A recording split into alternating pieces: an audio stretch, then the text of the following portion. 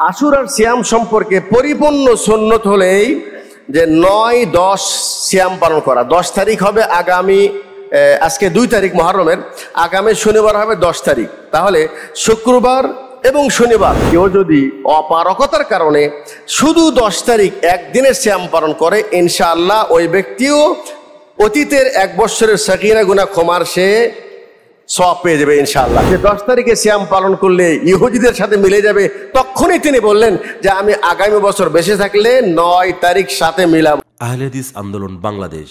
আসুন পবিত্র কুরআন ও সহি হাদিসের আলোকে জীবন গড়ি।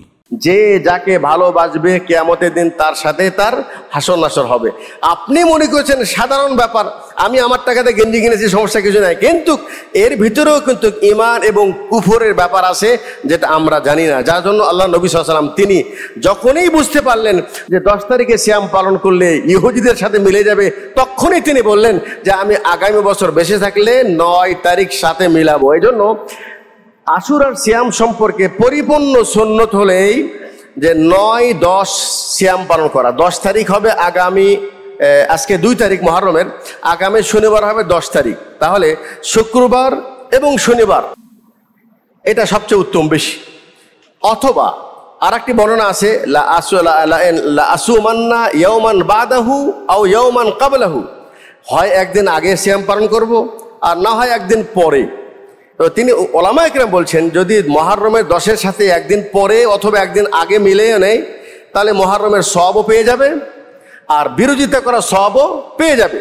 প্রশ্ন হলো এই, কেউ যদি কাজে, কর্মে প্রচণ্ড গরম, অনেক কষ্টের কাজ করি, তাহলে শুধু দশ তারিখে শ্যাম পালন করলে সেটা কি হবে?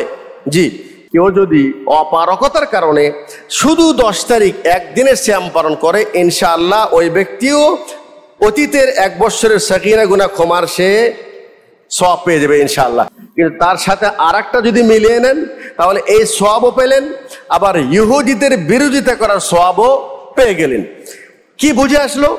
যে এই সিয়ামের সম্পর্কটা হলো অনেক পিছন থেকে, অনেক পিছন থেকে। কীভাবে নাজাদ পেলেন মুসা আলি সালাম? ইতিহাস আপনারা জানেন, আমি ওই দিকে লম্বা যাব না।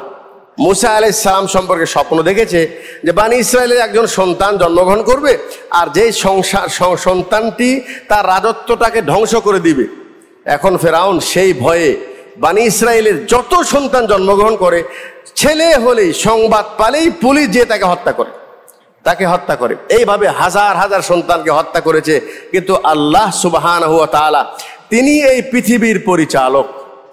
তিনি এই পৃথিবীর মালিক। এই জিনিসটা আমরা অনেক সময় বুঝি না। আমরা, আমাদের ভাগ্য আমরা নিজেরাই হাতে নিয়ে নিছি আমার জীবনের মালিক আমি, আমার জীবনের সুখ শান্তির মালিক আমি, আমার সন্তান পরিবারের সুখ শান্তির মালিক আমি। কীভাবে? এখন আমাকে যে কোনো মূল্যে আমাকে দুনিয়ার জীবনটা উন্নতি করতে হবে। উন্নতি করতে যে আমি ভালো খাব, ভালো পরবো ভালো বাসস্থান গড়ব, এই জন্য মনে করছি যেহেতু আমি আমার কর্ম দিয়েই করব। সেখানে আমি হালাল হারামও দেখি না। আর আল্লাহ তিনি যে সুখদাতা, তিনি যে জীবনদাতা, তিনি যে পৃথিবীর মালিক, তিনি যে ফকিরকে ধনী বানাতে পারেন, ধনীকে ফকির বানাতে পারেন, অসম্মানীকে সম্মানী বানাতে পারেন, সম্মানীকে অসম্মান বানাতে পারেন, এই কথাটা আমরা ক্ষণিকের জন্য হলেও ভুলে গেছি